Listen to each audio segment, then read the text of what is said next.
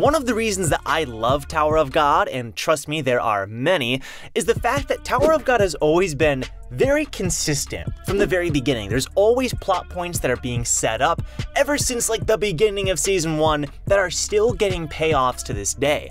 For example, Ghost showing up in season three, you know, like no one thought that was gonna happen. We all thought, all right, Ghost, his job was done, you know, SIU maybe forgot about his character. But no, SIU does not forget unless you're you're you're the minor characters from season one because SIU definitely forgot about them. But despite all that, despite the credit that I give to to that side of Tower of God and SIU, there were some changes made in the story and to some of the characters. If you go back and reread, you may not notice them, but they are there. These are very small details, sometimes large changes, but mostly small changes that were made throughout the story by SIU. I have five of them here. Let's do it. The first thing I have written down here is Lero-Ro's design. When you first meet Lero-Ro in the comic particularly, he looks very different and acts very differently. He's more of a cutesy character with a fun, weird, wacky design, which is quickly changed, pretty much in the course of one chapter. Now you could argue that Lero-Ro was just acting kinda different, and fair enough, but the main thing is just he looked very different. He looked like a very goofy character. He's pretty much the first ranker we've ever met in the story aside from Yuri and Evan, and I think SIU at first was going for, yeah, more of like a wacky appearance. His legs looked like these, I can't even explain it, he looked like a praying mantis, you know what I mean? Like his legs were like expanded outward and combine that with his weird personality, he was a very goofy character. But then, one, two chapters later, he's the Lero-Ro we all know and love, tall, a little more serious. I mean, he, the comic version of Lero-Ro isn't afraid to be a little bit, you know, extroverted, especially when he's like announcing the games and stuff, which you see more in the comic. But even so, like in that that first design of him is just so different and if you look at it now it's scarring like the difference is it's immense so it definitely deserves being talked about um, yeah, that's number one. Okay, the second thing that I have is a little bit different and one that I just caught recently, and it's a very odd one that I never knew about, and I don't know why more people don't talk about it. Okay, well, I know why. It's because it's a character that nobody cares about, sadly, it's Barrow Barrow. Now you might be like, what what changed with Barrow Barrow? Like what was going on? Barrow Barrow used to have a tail. Now this really threw me off because I was like, I had to really look closely at this panel and be like, wait, is there someone behind her? You know, maybe another one of her teammates has a tail and they're just standing behind her, or maybe it was like a mistake. But no, because we also see another panel of it later on. This is so weird because th there's no reason for her to have a tail. She's a normal human being, you know, whatever, with a tail. And it's just like, okay, okay, we've seen that before, but the designs are so different. We've seen Anak have a tail, but she's a literal green-skinned lizard person. You know, there's been a monkey guy who has a monkey tail. That makes sense. It's, it's pretty rare that you see a regular person walking around with a tail, and yet there you are with Barrow Barrow. It was the weirdest thing. I was actually doing a read with my, my fiance. She's actually reacting to Tower of God. If you want to see her reactions, you can check here and click the card. And I was reading with her and I was like, what the frick? You know, this threw me off so bad. Um, I'm guessing more people don't notice it because, again, it's Barrow Barrow. Uh, but it's still worth pointing out because that's a pretty massive change, not gonna lie. Okay, so this one, uh, this one maybe doesn't count, but I do think it's worth talking about because it, it is a jarring change, especially if you look at the start and the finish. It, it is probably the only change, though, that can be explained in the story. It's not necessarily like SIU, you know, made a change and retcon something. Like, that's not the case but it's Boro's character. And you might be like, okay, wow, Joe, you're really, you're really gonna use this opportunity to talk about Boro, and yes, yes I am. Because when you first meet Boro, he's a soft-spoken, calm, silent badass. But the Boro we get to know and the one that leaves the group at the end of season two or start of season three is outgoing, extroverted, and goofy, and is kind of scared to fight. That's a big change. Okay, he's not scared to fight, but he is a little bit like, whoa, you know, he, he's always the one to react loudly to the things that's happening to them and, you know, running away, but not running away in, in fear, but like, you know, what do we do? What do we do? Like that kind of character. And that was not the Boro that we first met in the story. The first Boro was one who came up with the plan, was like, we're gonna do this, and he knew what to do exactly when. He he cut a dude in half that was tailing him on the train, and he didn't even break a sweat, you know? Like, that was the Boro we first met, and the Boro we meet later on, his sworn enemy is something that scared him as a kid in a movie. He saw a movie as a kid that had a scary dinosaur or something, and that was his sworn enemy, not Joaquin, the guy who murdered his friends and terrorized them on the Hell Train. No, it was the thing in the movie as a kid. That's the Boro that we know and love today. Now you could say, all right, he ended up regrouping with Sachi, and that's why, you know, that's like the true Boro. But it's still like jarring. It's very jarring.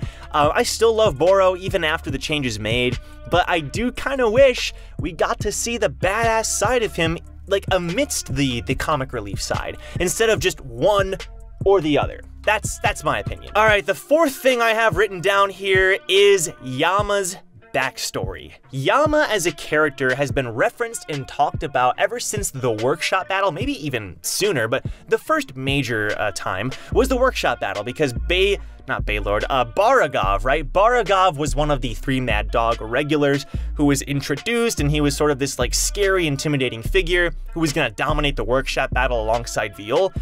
And so Yama was talked about. And we do actually get to see this cool panel of Karaka and Yama. And this is actually way before Yama was ever introduced. This is back during the workshop battle. He still had his red hair, you know? I think that's a really cool detail.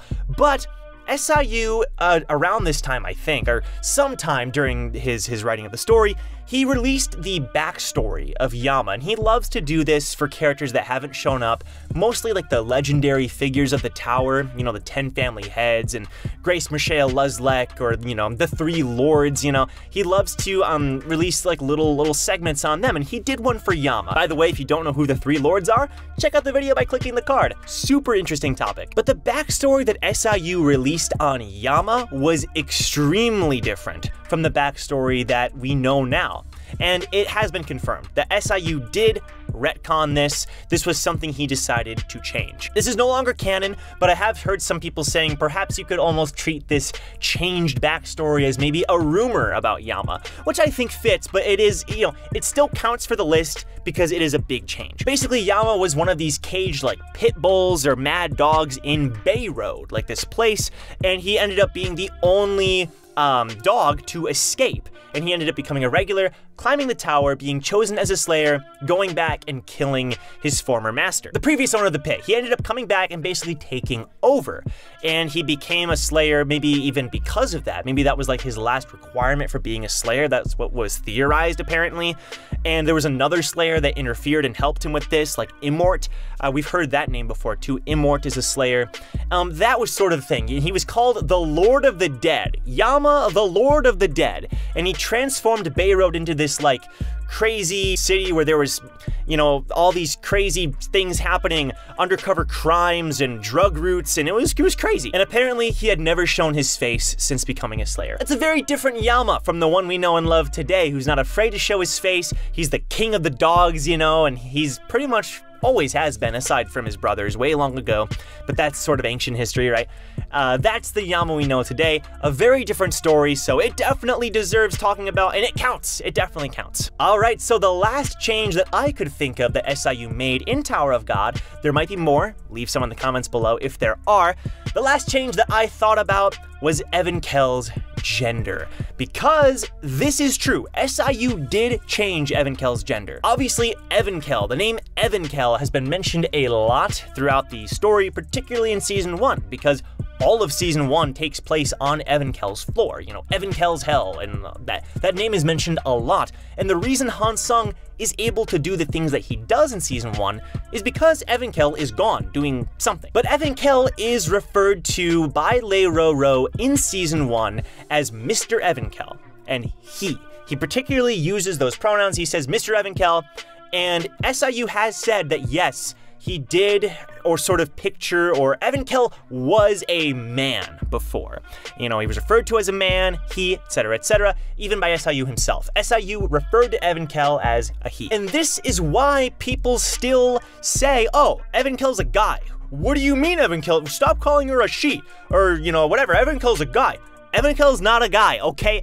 I'll say it a hundred times because SIU has confirmed Evankhell is a woman. Now, SIU has also said that there is some interesting things going on there. Maybe SIU is not, or maybe, maybe SIU, maybe Evankhell isn't a hundred percent female. Like there's something going on there. Perhaps the the sex curse that we know about with Yura and, and and everything that happened there. If you don't know about the sex curse, again, check it out by clicking the card. Lots of lore videos here on the channel. There is something going on with Evankhell and her gender, but she is referred to as a she, and any time that it's he is a mistranslation, like season 2 and season 3, after we meet Evankhell. And this is all confirmed by SIU. So if you have a problem with that and you like to say he for Evankhell, you're wrong, and that's facts. That's it though. I mean, I get the confusion because there are mistranslations even still with Evankhell's gender.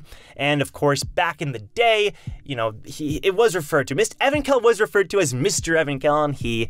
Um, so I get it. I definitely get it. But it is confirmed Evankhell is a woman. But yeah, that's all I got. Uh, let me know if there are more changes in Tower of God that I wasn't aware of, that I didn't realize perhaps, because maybe I can make a part two to this video. I think that'd be pretty fun.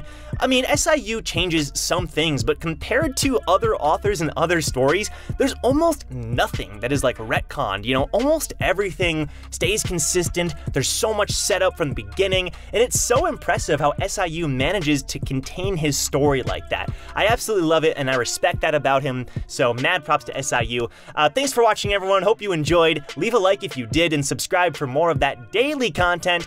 Partially Tower of God, partially Webtoon, but mostly Tower of God.